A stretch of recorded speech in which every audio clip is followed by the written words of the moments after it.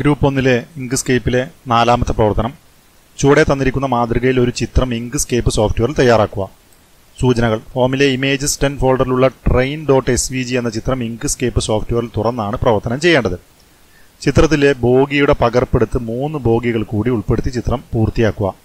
പൂർത്തിയാക്കിയ ഫയൽ ഹോമിലെ exam ten ഫോൾഡറിലുള്ള നിങ്ങളുടെ രജിസ്റ്റർ നമ്പർ അണ്ടർസ്കോർ ചോദ്യ നമ്പർ ഫയൽ നാം നൽകി പി എൻ ജി ഫോർമാറ്റിൽ എക്സ്പോർട്ട് ചെയ്യുക. S V G file save ചെയ്യേണ്ടതില്ല.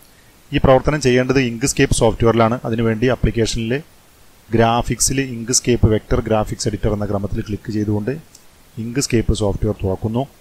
ഇനി നമുക്കിവിടെ ഹോമിലെ images ten ഫോൾഡറിലുള്ള train dot S V G എന്ന ഫയൽ തുറക്കുകയാണ് വേണ്ടത്. അതിനുവേണ്ടി ഫയലിൽ ഓപ്പൺ ക്ലിക്ക് ചെയ്യുന്നു. ഓപ്പൺ ക്ലിക്ക് ചെയ്ത് കഴിഞ്ഞാൽ നിങ്ങളുടെ ഹോം ഫോൾഡറിലുള്ള ഇമേജസ് ടെൻ എന്ന ഫോൾഡർ തുറന്ന് അതിനകത്ത് train dot S V G എന്ന ഈ ഫയൽ നമുക്ക് കാണാം. അത് സെലക്ട് ചെയ്ത് ഓപ്പൺ ക്ലിക്ക് ചെയ്യുന്നു. അപ്പോൾ അതിവിടെ തുറന്നു വന്നായിട്ട് കാണാം. ചിത്രത്തിലെ ബോഗിയുടെ പകർപ്പെടുത്ത് മൂന്ന് ബോഗികൾ കൂടി ഉൾപ്പെടുത്തി ചിത്രം പൂർത്തിയാക്കുക. ഈ ചിത്രത്തിൽ നമുക്ക് കാണാം മൂന്ന് ബോഗികൾ കൂടി ഇവിടെ കാണാം. അപ്പോൾ ഇവിടെ ഇപ്പോൾ ഒരു ബോഗിയാണുള്ളത്. അപ്പോൾ ഈ ബോഗിയിൽ ഒന്ന് മൗസ് ക്ലിക്ക് ചെയ്ത് കഴിഞ്ഞാൽ അത് സെലക്ഷൻ ആവും. എഡിറ്റ് മെനുവിൽ ഡ്യൂപ്ലിക്കേറ്റ് ക്ലിക്ക് ചെയ്താൽ ഒരു ഡ്യൂപ്ലിക്കേറ്റ് കിട്ടും. അത് നമുക്ക് ഇതേപോലെ നീക്കി വെക്കാം. വീണ്ടും എഡിറ്റിൽ ഡ്യൂപ്ലിക്കേറ്റ് ക്ലിക്ക് ചെയ്യുന്നു. അപ്പോൾ ഒരു ഡ്യൂപ്ലിക്കേറ്റ് കൂടി വരും. അത് ഇതുപോലെ മാറ്റി വെക്കുന്നു. വീണ്ടും എഡിറ്റിൽ ഡ്യൂപ്ലിക്കേറ്റ് ക്ലിക്ക് ചെയ്യുന്നു. അതും ഇത്തരത്തിൽ മാറ്റി വെച്ചുകൊണ്ട് നമുക്ക് ഈ ചിത്രം പൂർത്തിയാക്കാൻ കഴിയും.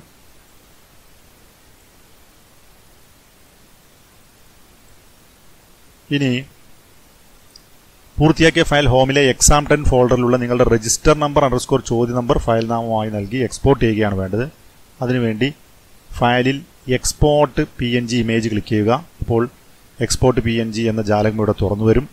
ഇവിടെ എക്സ്പോർട്ട് ആസ് ക്ലിക്ക് ചെയ്ത് കഴിഞ്ഞാൽ ഇതിന്റെ ഫയൽ നാമം നിങ്ങളുടെ രജിസ്റ്റർ നമ്പർ അണ്ടർസ്കോർ ചോദ്യ നമ്പർ ഇത് നാലാമത്തെ ചോദ്യമായതുകൊണ്ട് നാല് എന്ന് സെലക്ട് ചെയ്തു. ഹോമിലെ എക്സാം ടൈം എന്ന ഫോൾഡറിലേക്ക് ഇത് നമ്മൾ സേവ് ചെയ്യുന്നു. സേവ് ചെയ്തതിന് ശേഷം ഇതൊന്ന് എക്സ്പോർട്ട് ചെയ്യണം. എന്നാൽ മാത്രമാണ് ഈ ചിത്രം അവിടെ ലഭിക്കുക. അതിനുവേണ്ടി താഴെയുള്ള ഈ എക്സ്പോർട്ട് ക്ലിക്ക് ചെയ്യുക. എക്സ്പോർട്ടിംഗ് പ്രോഗ്രസ് ചെയ്യുന്നു. ഇത് മിനിമൈസ് ചെയ്ത് ഹോമിലുള്ള എക്സാം ടെൻ എന്ന ഫോൾഡർ തുറന്നു കഴിഞ്ഞാൽ ഇവിടെ ആ ചിത്രം വന്നായിട്ട് നമുക്ക് കാണാം. ഇത്തരത്തിൽ ഈ പ്രവർത്തനം പൂർത്തിയാക്കുക.